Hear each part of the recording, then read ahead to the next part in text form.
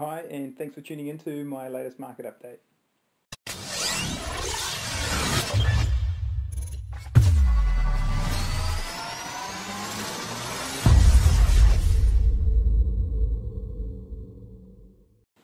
All right, let's get down to business. I want to talk about the last three months because that's uh, how long it's been since I've done my last one. There's been quite a bit happening.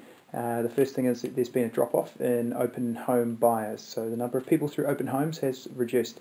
There's also been a drop in the auction clearance rates, which has been widely publicised in the news. Uh, properties are taking a bit longer to sell, and some uh, price reductions are having to occur in order for those properties to sell.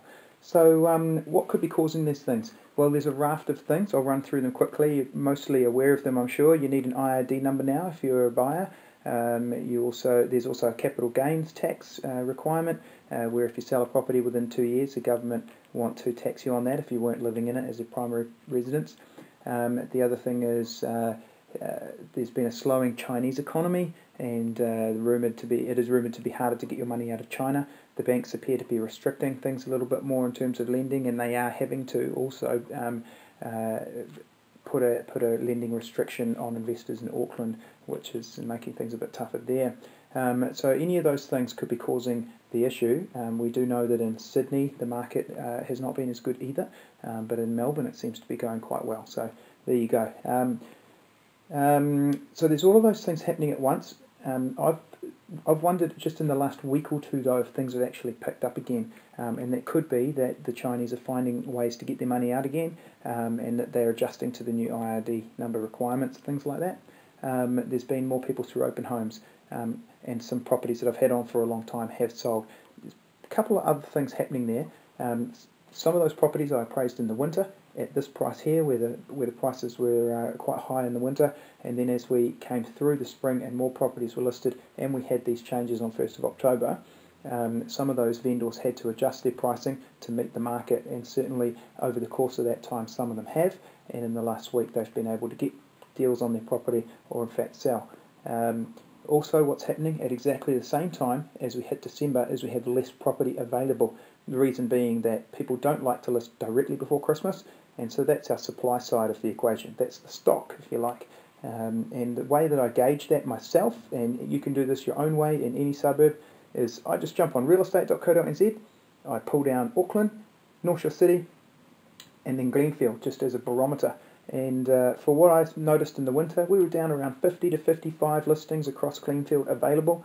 Um, and then what would happen, um, what, what did happen through the spring as more listings came on, that number blew out. The highest I saw it at one point, it was 114 available listings. Uh, a, a, couple of weeks ago, they had come down to 104. And then I saw it at uh, 84 last week. And this morning, I've just checked 77 available listings in Glenfield. That means a little bit more competition for the buyers. If we are seeing more buyers coming into the market, it could be coinciding with less stock available. Good situation again for our vendors. Looking forwards to the new year, we've got lower interest rates. The high net migration is still there and room. The, the word out there is that we're not building enough properties to support that. So things looking like possibly prices ticking up next year, but we'll have to wait and see because, as you know, at any particular time, the prices could go up or down. So it's very hard to judge the future in that respect. Um, so has it been shown in the statistics? I've harped on about the stats in the past, and if you look at my September blog that I did in 2014, um, you'll find in there some uh, a bit of a description around how statistics can hide uh, what's been happening in the market. And certainly as we come into spring, we always sell um, a, a, mix of more expensive types of property, um, given that in winter we offload investment properties, two bedroom units sometimes, uh, properties that are not owner occupied. Then as we come into spring and we get through labour weekend and daylight saving, those who live in their houses like to prepare them for sale and move before Christmas. Um, often people who have houses uh, with pools and beachfront properties and that type of thing are sold at this time of year as opposed to in the winter. So to make to help you understand that, if five properties sell for five hundred thousand dollars in July and then five properties sell for a million dollars in October, it does not mean that the market's moved up hundred percent.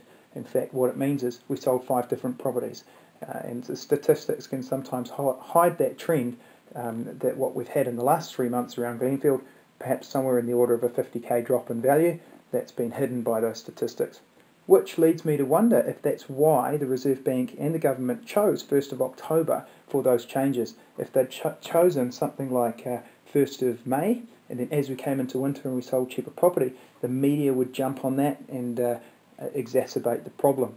Um, so that would be an interesting question to put to them. How come in 2013, when the first round of LVR changes was also done on the 1st of October? I don't know. So um, that could be part of it. Um, so anecdotally, if you ask around uh, salespeople, everyone's saying yes, prices have fallen, um, and in different areas by different amounts. And you talk to different people who have different opinions on how much. But what I can say in the last couple of weeks, open home numbers have been good, properties have been selling, uh, perhaps a little bit of a rebound in interest, and maybe buyers are starting to figure out some of those changes. Um, so to know more about your home or um, to help get me to help with your situation, give me a bell. I'm still available prior to Christmas and also in the new year. So um, just one other thing before I go, I'd like to let you know that I am looking to um, add a new member to my team, looking for a full-time administrative assistant. I've posted the full job description up on my Facebook page. Uh, I'll be looking to put that um, uh, into more wide circulation in the new year if I can't find anyone beforehand. So uh, let me know if you think you know someone that might uh, want to join my team. So thanks very much for watching. Have a great Christmas and a safe Christmas and enjoy your New Year's. Cheers. Bye bye.